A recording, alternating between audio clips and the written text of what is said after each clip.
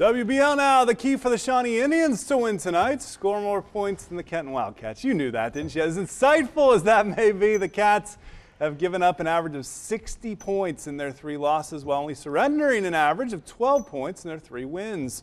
Don't sell that Shawnee defense short. They're tops in the North or WBL, taking on the top passing offense in the Kenton Wildcats. Pink out tonight, halftime. Kenton up 24-21. Looking for more in the fog is Jaron Sharp. Nice first down run here by the quarterback. He knows just what to do. Then Sharp to Jaden Cornell. Touchdown in the fog. Trust me, he got it. 31 21.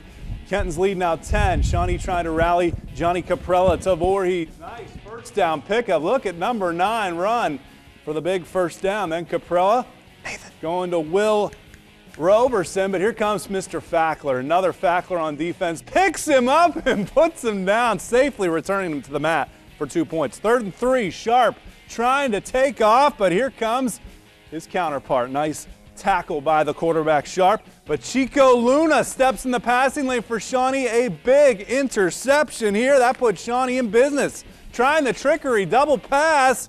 But look at Kenton, undeterred. They get the sack in the backfield. Fourth and 22 from the 30. Of course, Shawnee's going for it. Caprella buying time with his feet. And look at this toss to the end zone. Brought down by Voorhees as two defenders knock into each other and into number 24. What a huge touchdown. Shawnee cuts it to three, and that's your final margin. Kenton gets the win tonight. 38 35 on the road.